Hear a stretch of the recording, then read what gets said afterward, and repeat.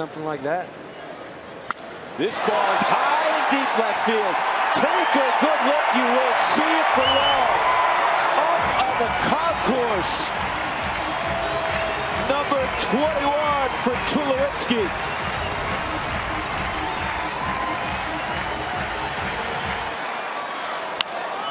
And a base hit to left. Here comes Fowler behind De La Rosa. Not in time. So Tulowitzki said, you know what? so what with four RBIs? I'll take two more. He's got four RBIs on the night. Todd Helton applauding his teammate.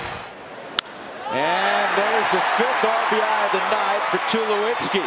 And Troy is going to gamble and go for two. And he's in there because the ball wasn't handled by Jeff Baker on the throw by Sam Fuld. It's a double. Look, down the line, extra bases for Tulowitzki again. Soriano will play it out of the corner. Tulowitzki's thinking about a triple. Here comes the throw, head first slide, he's safe. With a cycle. You don't see that very frequently. Ground ball, back up to middle, wouldn't you know it. It's going to be a two-run base hit for Tulowitzki.